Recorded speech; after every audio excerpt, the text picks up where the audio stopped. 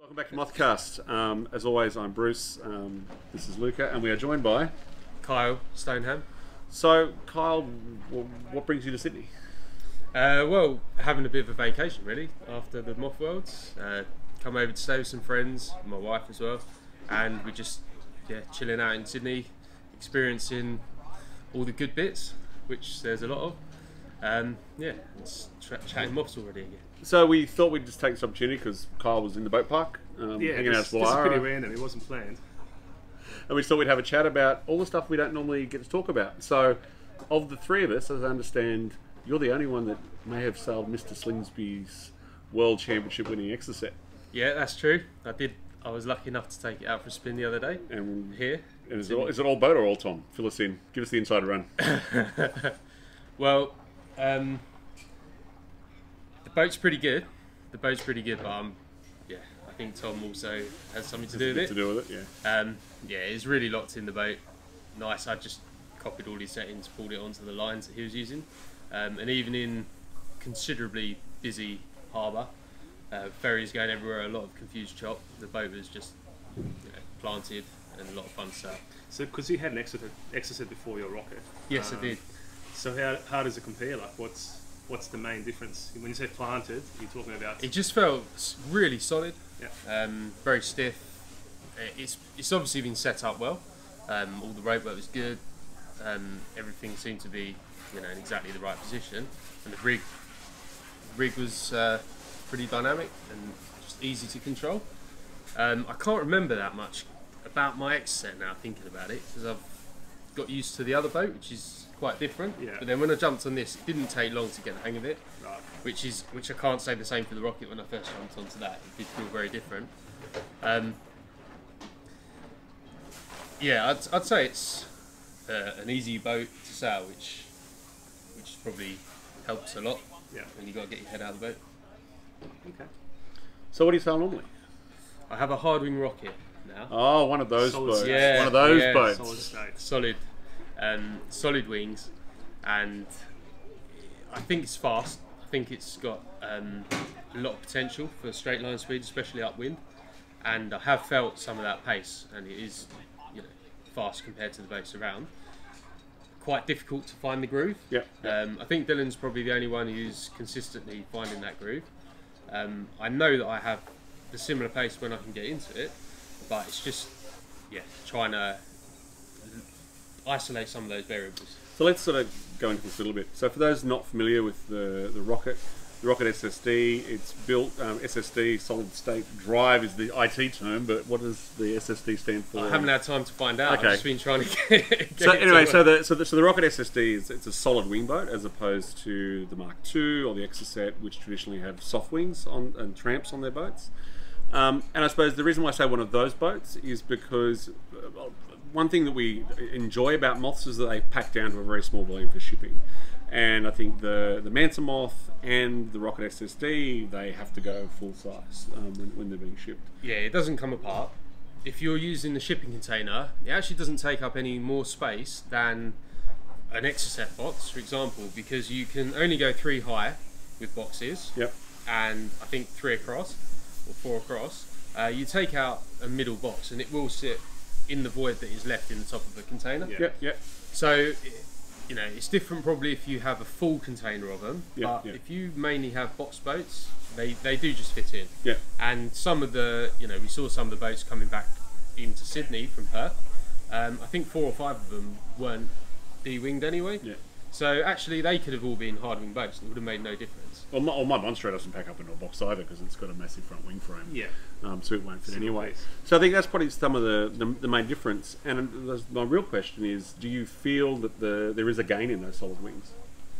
I think so. Um, I think there's an aerodynamics gain, especially for upwind. We were seeing now that the at the Worlds the trend was fairings on the, the soft tramp boats. Yep. Um, they're trying to get the trailing the trailing edge of the wings at the back pointed to have better release. Um, all things that when you look at the hard wing boats, they're kind of already done. Um, probably you get a little bit more energy into the rig and into the foils than you do on the you know the wings that slot together because it is solid. Yep, yep. Um, are they heavier? Probably ever so slightly. um, just because there is more carbon. But you don't have to replace the trampolines, so I suppose there's a bit of a save not having to take those off, not having the chance of tearing the trampoline, which can put you back. Yep.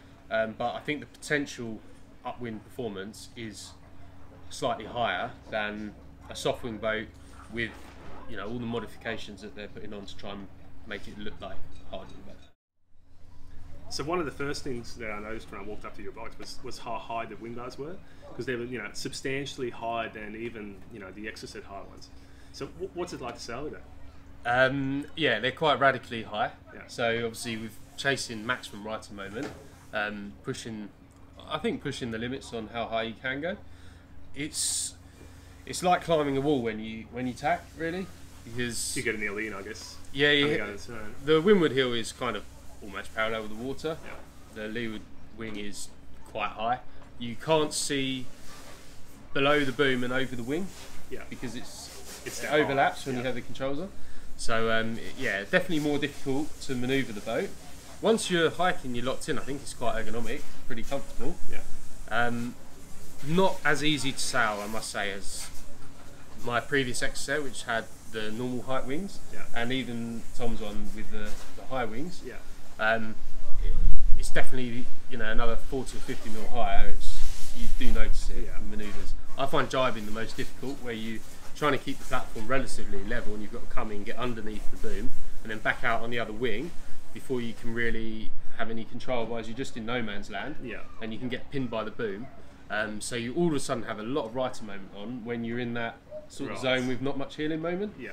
And yeah, if you get a heel wrong, the the foils will let go. And as I proved time and time again in uh, Perth, it's it's quite easy to capsize. Yeah. So, Kyle, you talked about having that small sweet spot and not and having not hitting it, you know, only getting into it sometimes. Do you want to expand on what you were talking about? There? yeah, um, I think if you to get the rig flowing exactly right, you just got to get the controls kind of spot on.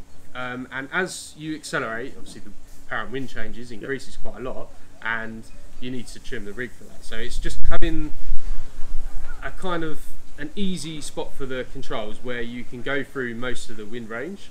Where ultimately, if you pull on everything a little bit harder when you're ripping, you will be faster. Yep. But as soon as you come out of that speed, it just doesn't work, and then it falls on top of you.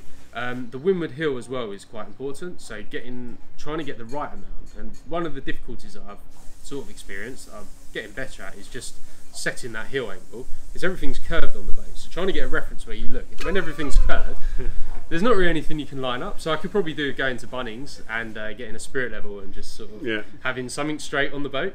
Um, but you just kind of get in the hang of it. I think the sweet spot is about you know 26 to 28 degrees of Windward Heel. Yep. And if you can get it locked into that, it does just rip. And I think that's when possibly we get some flow attaching on the leeward wing and just reducing that drag further.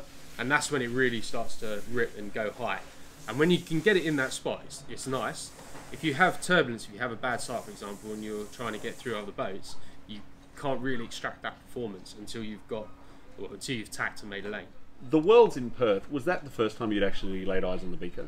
And what are your Yeah, thoughts on the yes, Bieker? it was. Yeah. What are your thoughts on the Bieker? As a Well, um, it's it's an interesting concept. I like it. I can see it's very practical the way it comes apart and goes back together. And I think for building boats, it's it's a good idea. Um, they seem to go very fast. Um, I think less is more on the aero type of thing with them. They've just instead of putting fairings and stuff, they've just reduced everything as much as possible. Which means that any time that they're you know the wings aren't flowing, they're creating much less drag than all the boats that have bigger wings when they're not flowing. yeah, So their potential, do I think the rocket has more potential? Probably. Could many people extract that potential? Probably not. yeah.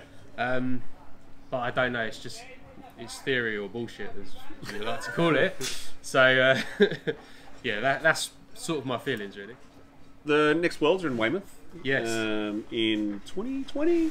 Yeah, in September this year. So we're what nine months away. Yep. The, in fact, in nine months' time, we'll be, I think, first day of qualifying the World in Weymouth, um, which, for those of you that don't know, it's the venue for the 2012 Olympics, the sailing venue. So we'll be sailing out of the academy, which has well, it's perfectly built for not just sailing but moth sailing as well. Um, plenty of space for setting up. Um, great launching facilities, and we have a sheltered harbour um, as well as going outside the harbour in the bay, um, providing the breeze and the conditions are right. So yeah, it should be. It's got the makings for a very good moth venue. Is there any restriction on the number of boats because it is such a small harbour and such a small venue? Um, at the moment, no. Um, I wouldn't say it's such a small harbour. Um, we have had. Well, we are good- sitting next to the glorious Sydney Harbour. Yeah, we are. There's definitely less traffic and sharks in Weymouth Harbour, although we do have dolphins. Um, No ferries. No, well, hopefully not on the days we're racing. Uh, it's, it's a perfect size for moth sailing actually, Yeah, yeah. for one course really. Inside the harbour, we just recently had our nationals there exactly a year before the Worlds to, as a, a kind of pre-test event. We got every race in over the four days, and um, there's 75 boats, which was a restricted entry, but that's not due to the sailing area. That was due to the sailing club that we sailed out of, which wasn't the academy. It's somewhere with, um, you know, it's a sailing club with a lot less space for moss to roll over and put foils in. Yep. Um, that was a huge success, that event, and every event that we've had there always is. So to be at the academy just opens up for more boats. Will there be a restriction? Um, there's always a maximum number of boats you can have at any event. It's just what is that number. So at the moment there isn't a restriction in place, but it is something that needs to be discussed, and more importantly, how that number is allocated Yeah. to each country to make it fair. So you can still go, Luke. I can still go. Yeah, Yes, it's good. if, if you qualify. Yeah, got to qualify. Um, so, what's your involvement with the association at, at, at, at the local level? I mean, are you organising? Uh, so I'm events? chairman of the UK class, um, and a year ago, or I've been how long have I been chairman? Maybe one or two years. Um, previous to that, I was just organising um, events and sponsorship. So putting those together, and it was like, right, we could do the UK World. So I put a bid in for the Worlds, which I think it's the same year about four or five countries also put a bid in. So we were lucky enough to win it, um, and I think you end up inheriting the responsibility of of organising the event if you happen to put the bid in that, that wins. Yep. So that's brought me to where I am really. Um, we're just at the point of forming a committee and dishing out the roles so that people know exactly what they're going to be doing, um, and yeah, advertising it and building the event. Oh well, if you want a commentary team, I know a couple of people. Yeah, it depends if they're competing or not. But um, so you know, I'm, I'm sure people are dying to find out that haven't sailed at Weymouth before. Um, what kind of conditions would you expect? You know, Perth is obviously quite quite a windy regatta, and that's typically what what Perth gets. Um, how, how's Weymouth going to be? Well, what I would say about moth events is, and I've said it before, you you never get the conditions that the venue is renowned for. Yeah. Um, and I think that the same could be said for Perth as well. When we were warming up and we were training, it was pretty windy, and then when it came to the event, especially on the blue course, um, there was nowhere near the same breeze uh, as had been experienced. Yeah. Um, and even on the last day in Goldfleet as well, very light across the course. Yep. Uh, and possibly the first day at Goldfleet, it wasn't Yeah. really honking. Yeah. So, what can we expect at Weymouth? Well, generally a bit of everything. So that means probably just one type of sailing, but Yeah.